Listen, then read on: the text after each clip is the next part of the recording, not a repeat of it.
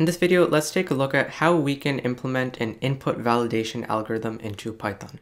So you'll often need some sort of input validation algorithm when you want to get some input from the user, but the user may not necessarily enter the correct form of the data. So for example, if you want to enter your age, then let's say the user enters something that's not a positive integer. Well, then you want to actually check to see if it is a positive integer. If it's not a positive integer, if it doesn't satisfy your condition, then you want to give some sort of error message and keep getting input until you get the correct input. So that's a very simple example of how we can use input validation. Of course, there are more complicated examples. So let's take a look at a few examples here before we actually implement this. So on this first line, this function right here, this is going to be the final function that we write. We'll take a look at this after going through all these examples. But this first line right here, we're getting name and we just want to get normal input. Anything is fine in the name category because all we're looking for here is a string. Now it gets a little bit more complicated when we go for age. With an age, we want it to be an integer and we want it to be a positive integer.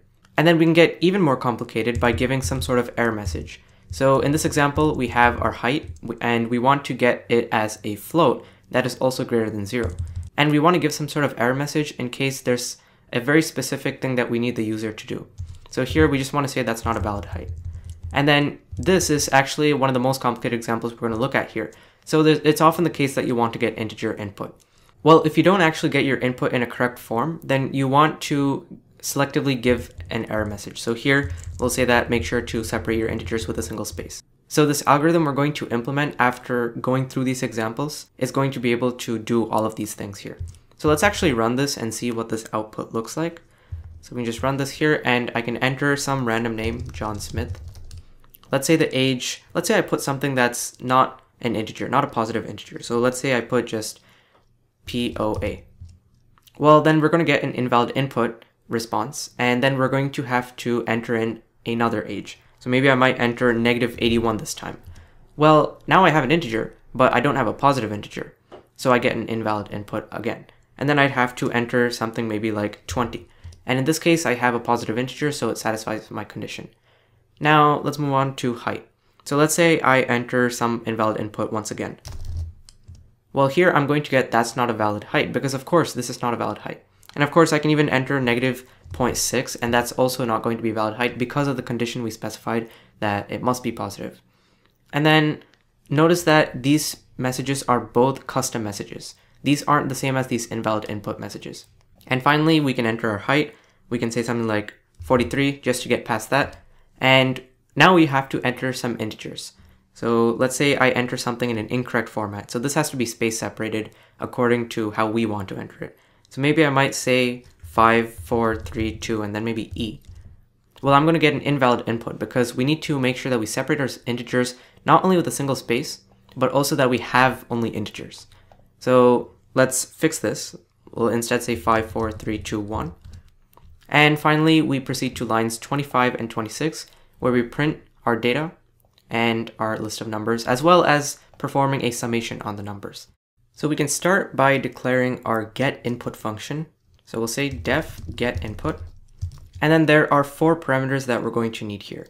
We're going to need a prompt parameter, and we'll just default this to an empty string. So this is going to be the prompt that we ask the user. And then we're going to need a cast parameter, let's just default this to none. So cast is going to be a function that the user provides when they're actually calling get input so that they can convert their data to anything that they need to. So like they can convert it to an int or a float or do some selective converting. So we'll say cast equals none. And then the third parameter we need is condition. We'll set that equal to none as a default value. And condition is just going to be the condition that we checked to make sure that our input, once we've casted it to the correct data type or to the correct form, is actually abiding by the rules that we want it to follow. So condition equals none. And then finally, if the condition fails or if we get some sort of error when we try to cast, we're going to give an error message. So error message is equal to none. We'll just default it to none, and that's in the event that we don't want to provide a custom error message. Now inside the body of this function, we're going to make use of an infinite loop. So we'll say while true. And the reason for this is because we want to keep asking the user for input until they enter the correct thing. And the moment they enter the correct thing, we're going to return a response out of this function. So when we call the return statement, it's immediately going to terminate this function and the loop will be broken. So we'll say while true, and now we're going to make use of some error handling. So we'll say try. So that's going to check to see if we've actually given correct data. And then we'll say response is equal to cast input prompt. Now before we move on, there's one thing that we have to notice. There's the possibility that we haven't specified what type of function we want to uh, apply to this input function call here.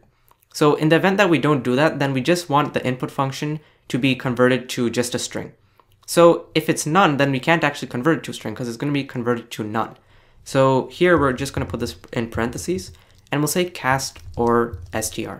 And so what that basically does is that if cast is a falsy value, or in other words, if cast is none, it's going to not use this function, but it's just going to use the string function. And then we're putting these in parentheses, so then that can be the function itself. That will be calling this input function here. Now, after we have this response line, we need to check if our condition is satisfied. So assert condition is none. So that's if we haven't been provided a condition, in which case we don't actually need to check anything. Or condition response. So condition is going to be a function that returns either a true or false. And basically what assert does is it checks to see if something is true, and if it's true, it's going to continue the code. But if it's false, it's going to throw an assertion error.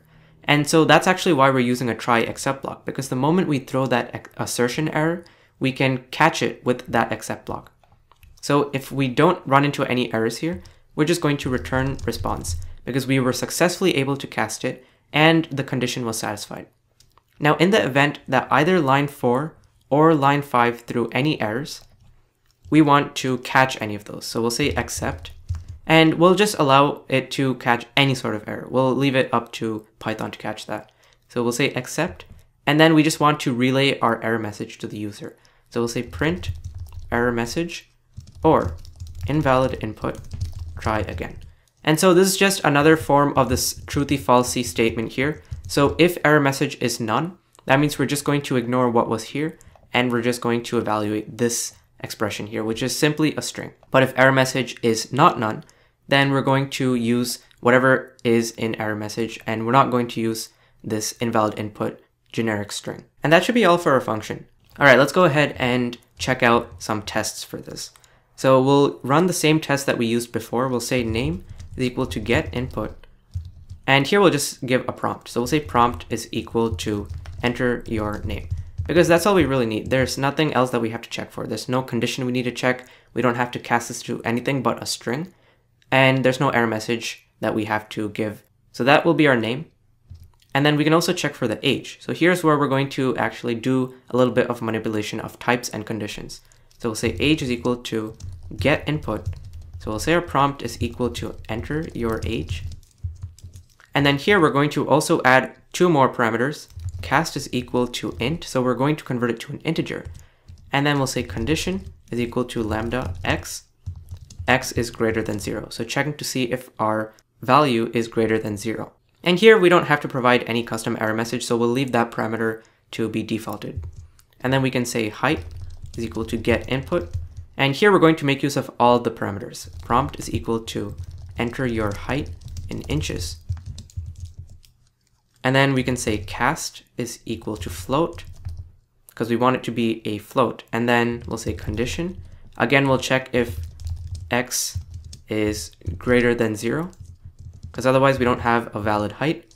And then our custom error message will be that's not a valid height. And of course, it's not a very descriptive error message, but you can provide anything that you want for this.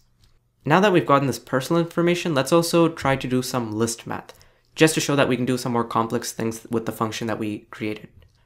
So we'll say numbers is equal to get input. And here we'll say prompt is equal to enter integers. And we'll try to cast this to a list of integers. And I've created another video on how to convert input to a list of integers. So be sure to check that out, but we're just going to quickly write that one liner here. So cast is equal to lambda line list map int line dot split at spaces. So what this does is basically it's going to provide us a line as our parameter, and that's going to be provided by this response here. And so this line, we're going to split it at spaces.